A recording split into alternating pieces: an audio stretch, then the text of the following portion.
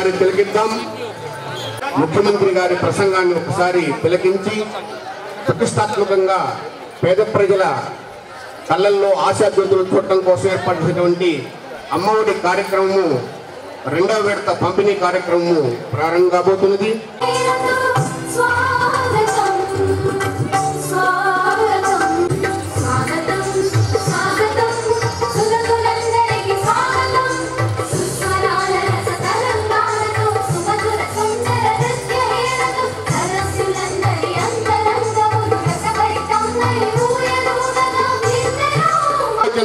ప్రచార కమిటీ సభ్యులు మధ్య మధ్య ప్రజా కమిటీ రథసారథులు వల్లంరెడ్డి లక్ష్మణరెడ్డి గారిని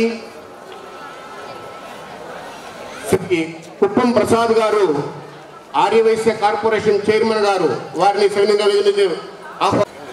ఈరోజు మనకు పర్వదినం. మరి తల్లిదండ్రులు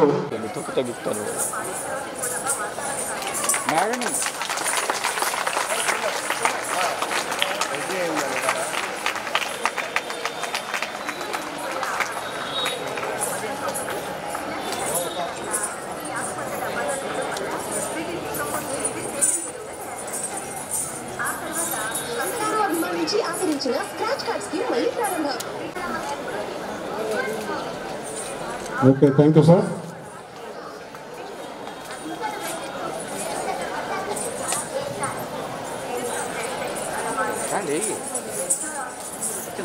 잘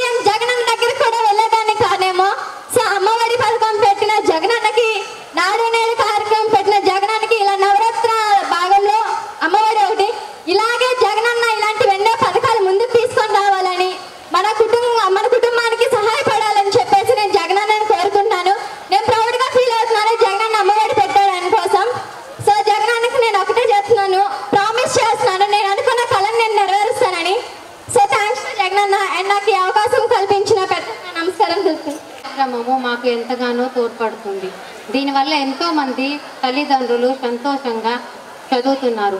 జగన్మోహన్ రెడ్డి మాకు చే ఆర్థిక చేయూతని అందిస్తున్నందుకు మా పిల్లలను మంచి మంచి చదువులు చదివించి వాళ్ళ బంగారు భవిష్యత్తుకు ఉపయోగపడుతుంది.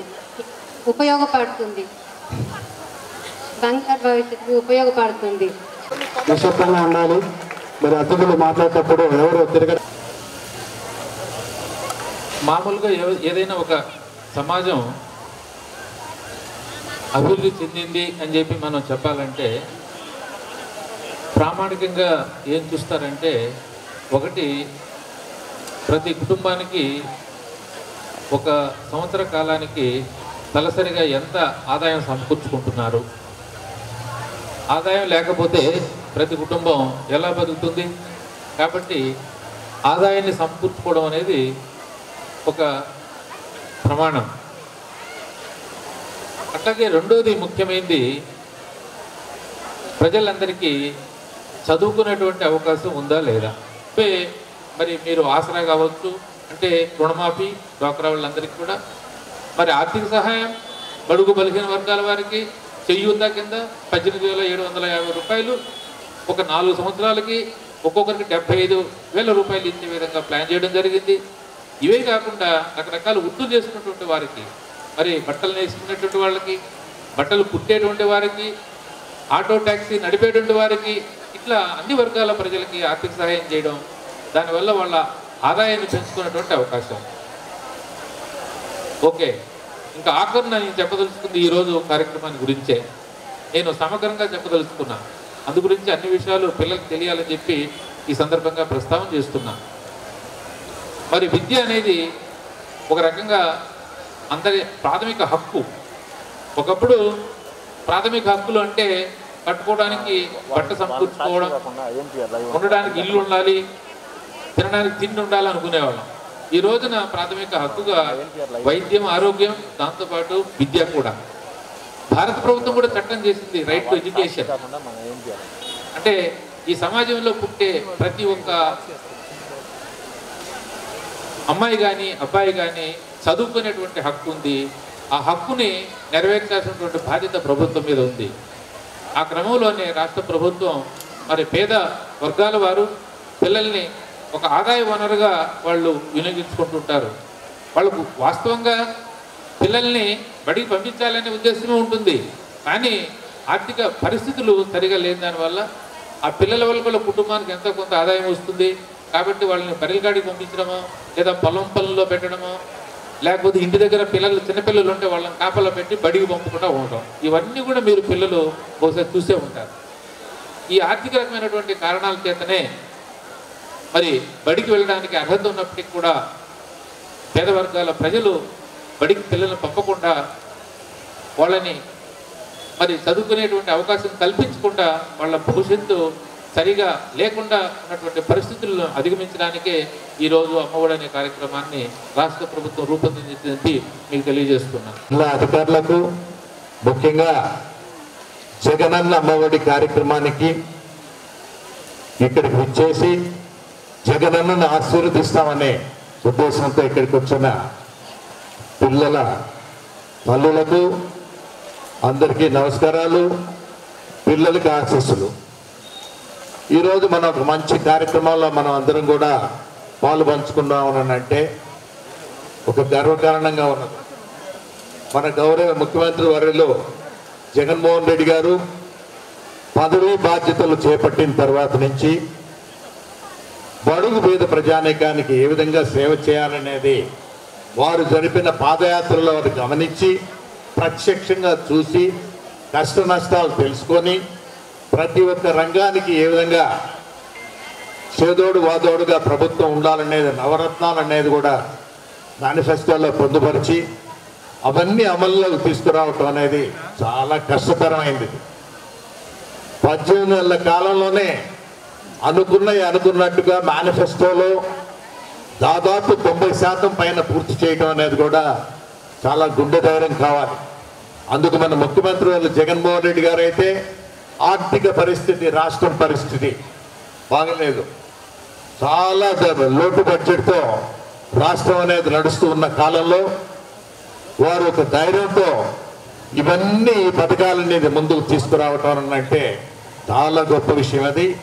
భారతదేశంలో ఇరవై తొమ్మిది రాష్ట్రాలు అనేది ఉంటే ఇరవై తొమ్మిది రాష్ట్రాల్లో ఆంధ్రప్రదేశ్లో పెట్టున్న స్కీములు అనేది ఎక్కడ ఏ రాష్ట్రంలో కూడా లేని విధంగా కూడా మన గౌరవ ముఖ్యమంత్రి గారు ఇవన్నీ కూడా పథకాలను ముందుకు తీసుకెళ్తూ పర్యవేక్షిస్తూ అనుకున్న సమయానికే ఒక కాలానికి ఒక డేట్ అనేది ఇచ్చిన తర్వాత ఆ పథకాన్ని ఏ విధంగానైనా కూడా ఆర్థిక ఇబ్బందులు ఉండినా కూడా దానిని అమల్లోకి తీసుకురావటం అనేది చాలా కష్టతరమైన విషయం. అందుకొరకు వేల కోట్ల రూపాయలు అంటే ఈరోజు మనం చూస్తున్న విద్యాశాఖలో అయితే ప్రతి సంవత్సరం అన్ని రకాల పథకాలతో కలుపుకుంటే ఇరవై ఐదు వేల కోట్ల రూపాయలు అనేది ఖర్చు చేయటం చూస్తున్నా ఉన్నప్పుడు కూడా. భారతదేశంలోనే కేంద్ర బడ్జెట్లో దాదాపు నలభై ఐదు వేల కోట్ల రూపాయల విద్యాశాఖ కూడా వాళ్ళు అలాట్ చేయటం చూస్తున్నాం.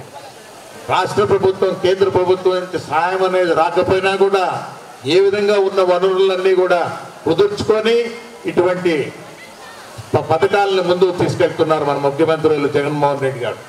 ఈ రోజు చూస్తుంటే జగనన్న మావు అమ్మఒడి అని అంటే చాలా అద్భుతమైన పథకం ఇది. దాదాపు పదిహేను వేల రూపాయలు అనేది ప్రతి తల్లికి అకౌంట్లో కూడా పడుతూ పిల్లల పోషణ కొరకు ఒక సంవత్సర కాలం అన్నీ కూడా వారు పిల్లల్ని స్కూలు పంపించుకుంటూ స్కూల్లో ఏంటంటే చదివించలేని శక్తి మాకు లేదు అనేది వారి మనసుల్లోంచి తొలగిపోవాలనే ఉద్దేశంతోనే ఈ జగనన్న అమ్మఒడి అనేది కూడా మన ముఖ్యమంత్రి గారు దానిని ఆచరణలోకి తీసుకురావటం చూశాం. నాడు నేడు కార్యక్రమం అంటే ప్రత్యేకంగా ఒంగోలులోనే ముఖ్యమంత్రి గారు వచ్చి ప్రారంభం చేశారు. ఈరోజు రామనగర్ రెండో లైన్లో చూస్తుంటే దాదాపు నేను ఇరవై నాలుగు సంవత్సరాల నుంచి స్కూల్కి వస్తూనే ఉన్నాం ఎప్పుడు కూడా చూస్తూనే ఉన్నాం. కానీ ఇప్పుడు చూసిన తర్వాత ఇంత మార్పు ఉందా? హై స్కూల్లో అయినా ప్రైమరీ స్కూల్లో అయినా కూడా అరవై ఐదు లక్షల రూపాయలు వెచ్చించి చాలా నీట్గా టాయిలెట్స్ అయినా హ్యాండ్ వాష్ కొరకు మంచి కూర్చునే వసతి అనేది కూడా ఏర్పరిచారనంటే స్కూళ్ళు దాదాపు ఆంధ్రప్రదేశ్లో ఉన్న స్కూళ్ళు నాడు నేడు పథకంలో రెండో విడత కార్యక్రమాన్ని కూడా ప్రారంభం చేసుకుపోతున్నారు కాబట్టి చాలా మూడు సంవత్సరాల కాలంలోనే పూర్తిగా స్కూల్ అనేది రూపురేఖలు కూడా మారిపోయి కార్పొరేట్ స్కూల్ కన్నా ఇంకా అందంగా ఉండాలనేది మన ముఖ్యమంత్రి గారి ఆలోచన కాబట్టి ఈరోజు పిల్లలు ఎంతో ఉత్సాహంగా స్కూల్కి రావాలంటే అన్ని వసతులు మాకున్నాయి. పాప గర్ల్స్ స్టూడెంట్స్ అయితే టాయిలెట్స్ లేకుండా ఎన్నో విధాలుగా ఇబ్బంది పడుతూ ఉండేవారు. వారందరికి కూడా మంచి టాయిలెట్స్ రావటం అనేది కూడా చూస్తుంటే సంతోషంగా ఉన్నది.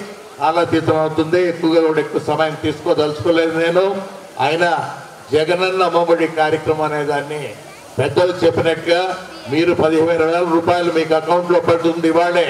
వచ్చిన తర్వాత దానిని సక్రమంగా పిల్లల కొరకే దయచేసి ఉపయోగించుకోమని కూడా నేను కూడా కోరుకుంటూ ఇటువంటి డబ్బు రావాలన్నా కూడా చాలా కష్టాలను మరలా మరలా కూడా పిల్లల భవిష్యత్తు అనేది మనం అందరూ కూడా మనసులో ఉంచుకొని ఈ డబ్బులు పిల్లల భవిష్యత్తు కొరకు చదువు కొరకు మనం వినియోగించాలనేది ఆలోచించండి. ఇంకా రాబోయే రోజుల్లో కలెక్టర్ గారు చెప్పినట్టుగా కూడా ఆదాయం పెంపొందించే దాని కొరకు గౌరవ ముఖ్యమంత్రులు జగన్మోహన్ రెడ్డి గారు ఎన్నో ఆలోచనలు కూడా చేసుకుపోతున్నారు కాబట్టి ప్రతి ఒక్క కుటుంబం సుఖంగా బతకాలి. వాళ్ళకి ఇల్లు ఉన్నప్పుడు కూడా వాళ్ళకి మంచి భోజనం దొరకాలి మంచి బట్ట దొరకాలనేది ఒక ఆలోచనతో చేస్తున్న కార్యక్రమాన్ని జగన్మోహన్ రెడ్డి గారు ప్రతి ఒక్కరు కూడా ఆశీర్వదించవలసిందిగా కోరుకుంటూ ఇటువంటి చక్కని కార్యక్రమాల్లో పాల్గొన్నందుకు విద్యాశాఖ అధికారులందరూ కూడా పదే పదే పేరు పేరున కూడా వారికి కూడా ధన్యవాదాలు తెలుపుకుంటూ సెలవు తీసుకుంటున్నాను. జై హింద్. చూస్తే ఇక్కడ వస్తే మనం ఒక టార్చ్ బేరర్ శతాబ్దంలో అది జ్యోతిబా కానివ్వండి బాబాసాహెబ్ బిఆర్ విద్యను అందరికీ అందించే విధంగా ముఖ్యంగా బడుగు బలహీన వర్గాల వారికి అణగారిన వర్గాల వారికి దళిత మరి ఈరోజు మనం అందరము అనుభవిస్తున్న పరిస్థితి మనం చూస్తూ కాబట్టి ఒక సంఘ సంస్కర్తగా జ్యోతిబాబా ఫూలే అట్లాగే బాబాసాహెబ్ మెంబర్ ఆఫ్ పార్లమెంట్ ఉండేల వాళ్ళు ఆగడ శ్రీనివాస్ రెడ్డి గారిని డిఓ గారు చిన్న చిన్నత్వం ప్రకటిస్తా ఉన్నారు ఒకరు తన మన ఎంపీ గారు నెమలి పిండం ఈ రోజు ఆ నెమలి పిండం. నీరే జగనన్న అని చెప్పి ఈ రోజు జగన్ మామయ్య ఈ రోజు మీరు మాకున్నారు అని చెప్పి ఈ రోజు రాష్ట్రంలోని చిన్నారులందరూ